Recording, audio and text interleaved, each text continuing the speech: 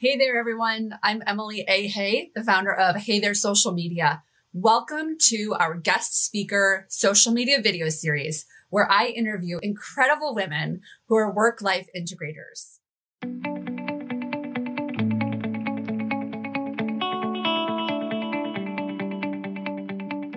Work Life Integration Nation is about living every moment intentionally bringing together your professional responsibilities and your personal choices into one with synergy. I think of it as a way to design your day, to really design your life. It allows you to be present and fulfilled, not overwhelmed and not lacking focus. So with that, we welcome you to Work Life Integration Nation. I'm thrilled today to have a guest that is very big in, in my world of who I follow. This is Meaghan Murphy. Meaghan Murphy is the content director over at Women's Day Magazine. Welcome so much today, Meaghan. Hi, thanks for having me. So I I think the key for me that it was never a decision. There was never a moment where I thought, "Wow, my life and my work should work in harmony." It's really for me been more like I'm a person that does things passionately, and if I don't care about what I'm doing, I can't actually do it very well. So I've always chased careers and dreams and jobs that really kind of enabled me to live what I love and somehow make a paycheck possible by virtue of living with passion. Okay, so is living is doing what you love advice that you know feels so un- intangible, but have you lived by yeah, that? And I also think that's like super, super cliche. And I never want to be like, do what you love and it'll never feel like work, because that is a bunch of crap too. I've been very lucky that if I'm interested in something, I'm able to pursue it with passion and therefore probably have a better result than if I pursued something I didn't give a crap about because I thought I could make a good paycheck. So if I look at the span of my career, I started at Teen People when I was a teen. I worked at Cosmopolitan when I was like single in the city.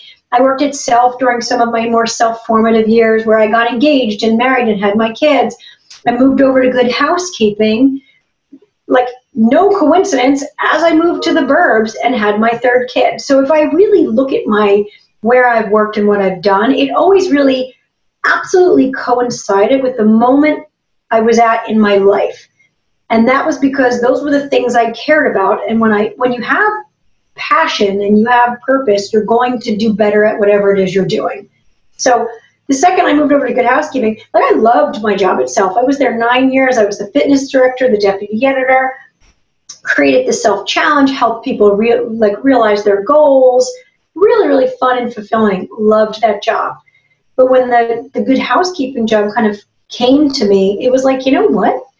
I am about to embark on this next journey. I care about dishwashers. I care about swing sets. I care about um, home hacks. And so I sort of kind of just diverted my energies. And where I diverted my energy is, is where I was able to thrive. Thank you for giving us just a snapshot of your background. One thing I'm hearing so clearly from you, you really bring work life integration to another level because, again, your work just mirrored what you were living mm-hmm. every day, every phase.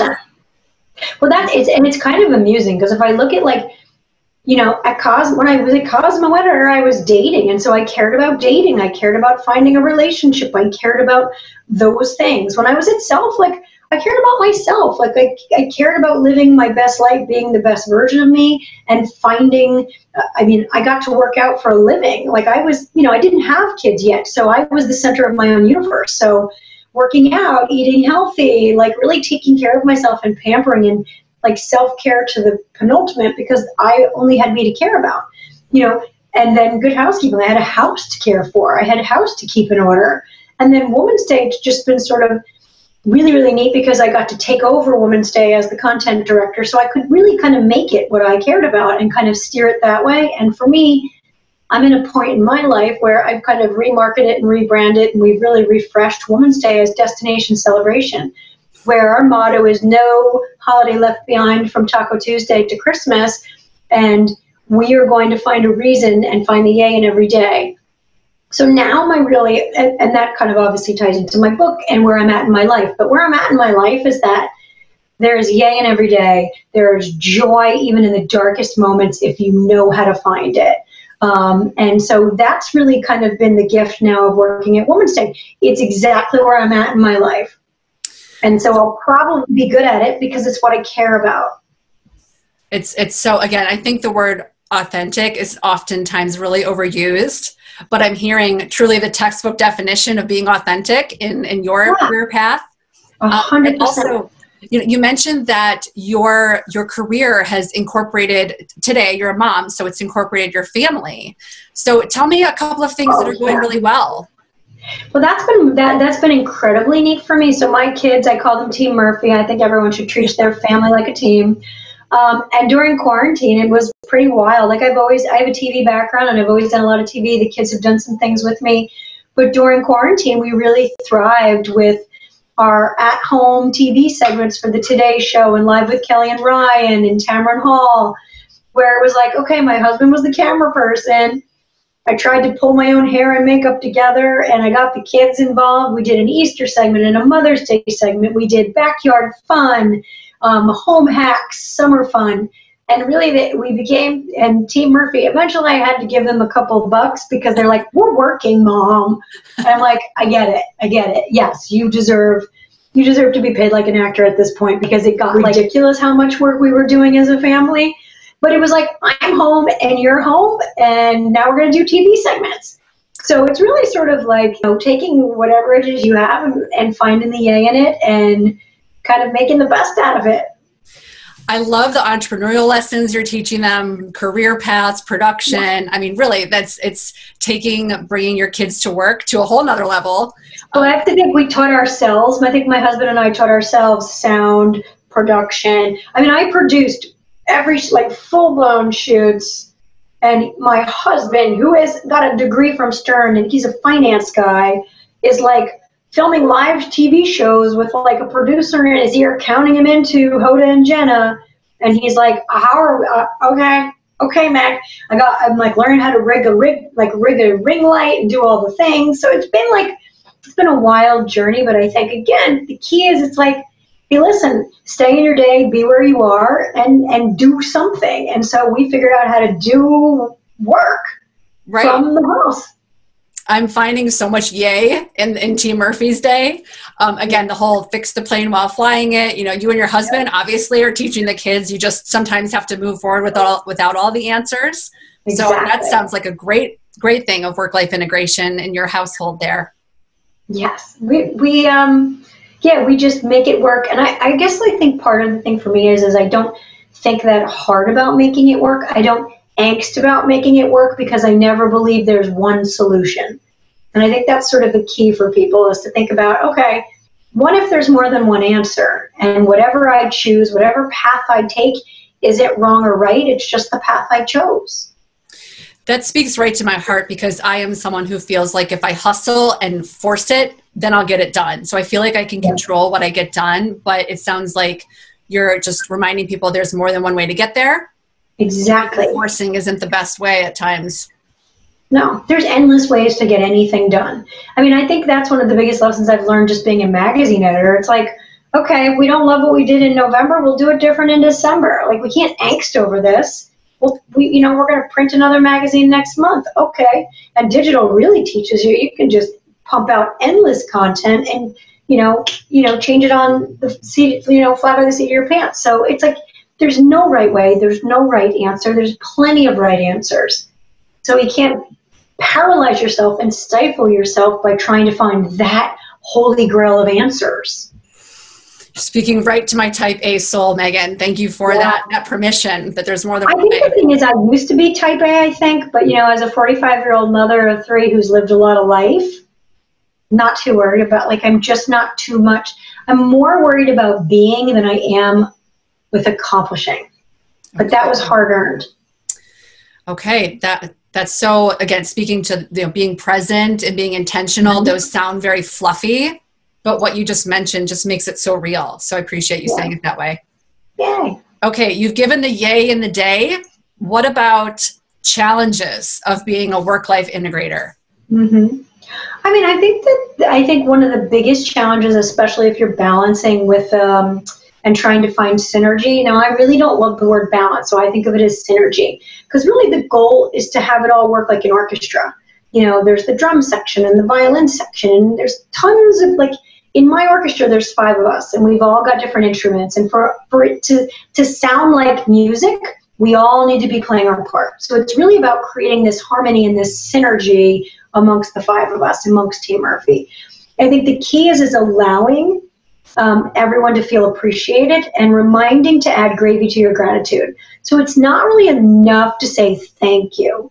I think it's about adding the why um, and the details of the thank you. So I, I kind of call it adding gravy to your gratitude. So it's not like, hey, honey, um, thanks a lot for taking that picture. It's like, you know what, honey? Thank you so much for taking that Instagram picture for me because I am so proud of this turkey that I just made out of crudité and it really means a lot to me that you had the patience or letting your kids, letting everybody know and feel that you value them and that you are all working together and everyone is appreciated.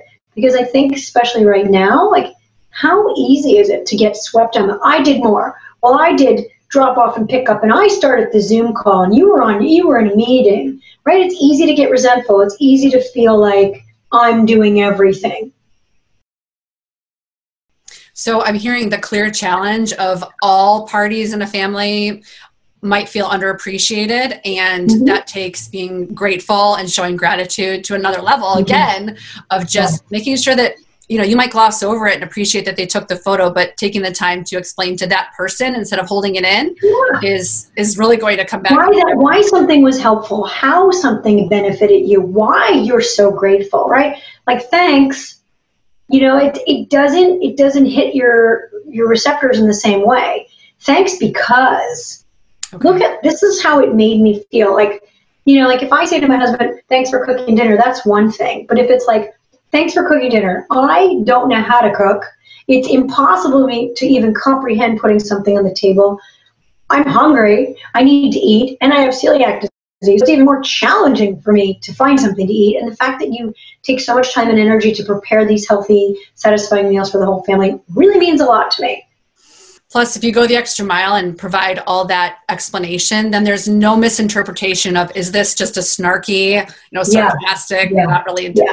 Because honestly, like in these pandemic times, there's just really no room for snark with your loved ones, right? It's just there's just, like it's, it's no room for snark. That's fair. So I know your mom was a teacher, and again, I'm a mm-hmm. mom with two young school age children, and we're all doing this virtual school scenario. Any challenges with that? I just have to ask, being in pandemic times. So I I, I cheated. I'm a cheater. I sent my kids to Catholic school, and they go from 7:50 to 3 p.m. It's like a private school. Um, so far, so good. Okay. They wear uniforms. Um, it was never something we had looked into before. It was never something that was really on our radar, but um, it has been a legit godsend. And um, like I, I am eternally, eternally grateful that this is working out. But that said, I do have I do have some hacks and tips and tricks for people who are at home trying to navigate this hybrid situation. In our town, the public schools, they go for four hours, two days a week, and then the rest is virtual it is incredibly challenging just to maintain where who needs to go where when. I have three kids, 10, 8, 7. Frankly, like I work three jobs. I have a podcast, a book, the magazine, TV. My husband has a full time job. We were like, we're either going to have to hire a teacher to do drop off pickups and start Zoom call and monitor homework. We're going to have to look into private school. And mm-hmm. private school is actually cheaper. Um, well, and the kids are You're so candid. You know, you're saying that that was your hack, but yet I'm sure there's also some concerns. I mean, there's there's Catholic schools, there's private schools where we are, and just concerns that if something shuts down, you know, you, I'm sure you have some stress of knowing you have to be flexible on a dime. Exactly. You know, and I've and I've sort of tried to say this to my team. Like I started my job at Women's Day at the beginning of the pandemic. We've never even met in person, and I'm like, we could just laugh about this and be like, we managed to redesign a magazine, change the logo, and and reinvent a 130 something year old brand from our homes. Like we can do anything. And if you sort of look at those challenges, I'm like, hey, listen, if we fail now, it's funny, right? Like, and we've got a built in excuse. We've got a pandemic. So whatever, don't overthink it. right now, it's working. And I'm very grateful that it's working right now. I think the key for any of us is really routine, establishing a routine, sticking to a routine. You know, even if you don't lose the house, leave the house, dress up to feel up, get dressed, no sweats, curl your hair, make the kids get dressed. This is not a pajama party unless they're doing a virtual spirit week. Like, get dressed, brush your teeth, make your bed, make your bed. Don't do your Zoom call in bed. Don't do your homework in bed. Schedule your snack break. Does the teacher say to you, oh, yeah, eat snack whenever you want? No, that should be scheduled. Movement times should be scheduled. And yeah, that could be painful for a week or two, but once you get everybody sort of working on a routine, people thrive in that environment. Kids kids actually crave routine and really, really need it. So I think that's that's the key for anybody. And then when you sort of get that kind of fatigue of like it's not working, change it up change the scenery. If everybody was do, had their desk at the dining room table, switch it to the kitchen table. A change of scene, scenery can sometimes be that little spark that the kids need to be, you know, re-energized. You know, it's, it's simple things like that. And you're taking so much of your real world you know work side and bringing it right into the personal life side. Mm-hmm. so that's that's so exciting to hear that it's not always you know a division or a balance. It's there's there's skills that apply to both and also oh, absolutely so. yeah i mean and i'm i'm a terrible teacher but i but i know how to run i know how to manage employees. So i'm managing my students as if i were managing employees. I think there's also fun things to think about like grown-ups have done all of these zoom calls but what about like what are what's your kids zoom background? Can you get the teacher to take pictures of the actual classroom so that their zoom background or their webex background background or whatever they're on is the actual classroom? Maybe you have a white noise machine in the house so it feels you know calm and serene and it's a lawnmower or the mailman ringing the doorbell you know those kind of things it, eh, eh, you know and decorating your house like a classroom i am the biggest proponent of decorations. We're in apple season right now. Okay, throw up a little apple decor. We made the cutest things in Women's Day. We took apples, hauled them out, and made these little cups and little sippers.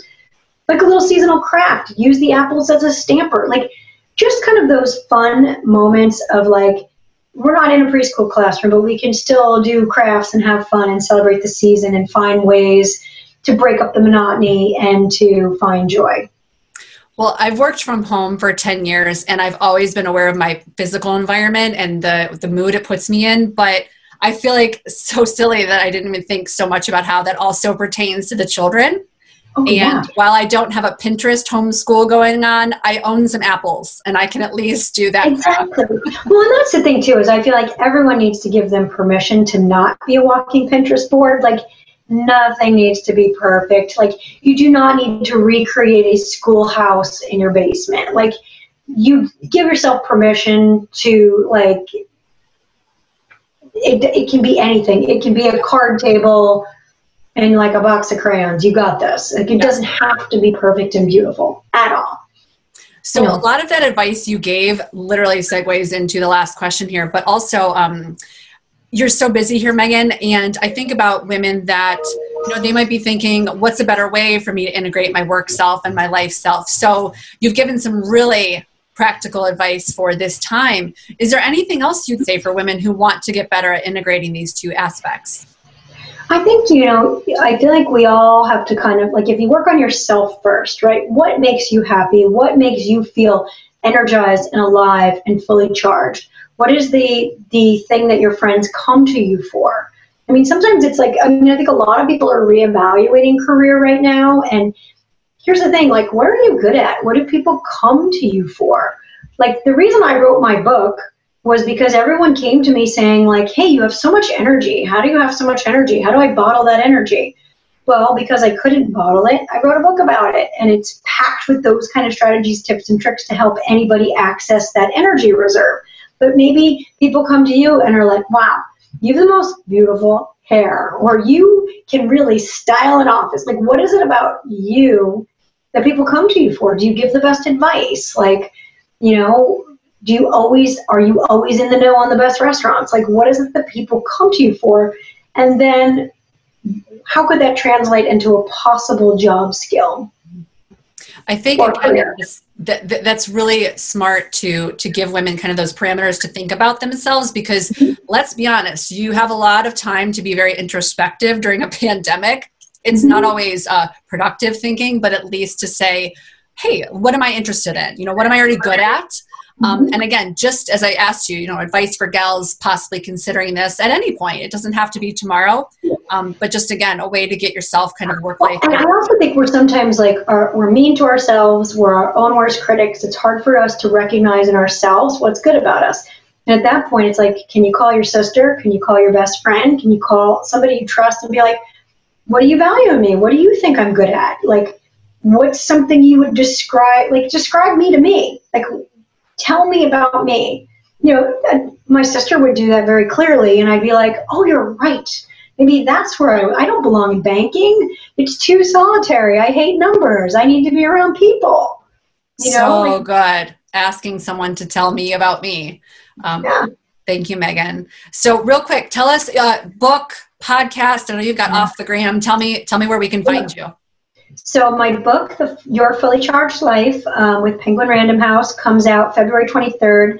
The cover reveal is on Friday, September 18th, and pre-sale starts. So I'm very excited about that.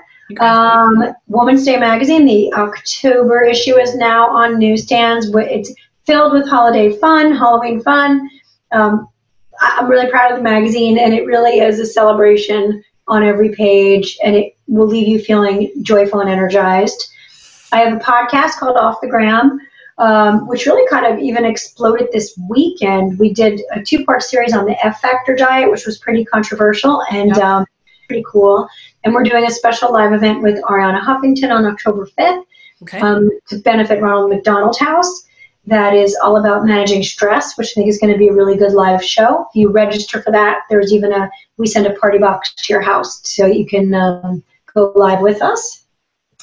And what else? Then just regular the TV appearances and things like that, but keeping busy. Keeping it all very busy. So busy, phenomenal. The, again, very busy gal. Love hearing all the different channels you have with work, everything going on. Thank you for inspiring us today. And again, giving mm-hmm. women practical ways to be better work life integrators.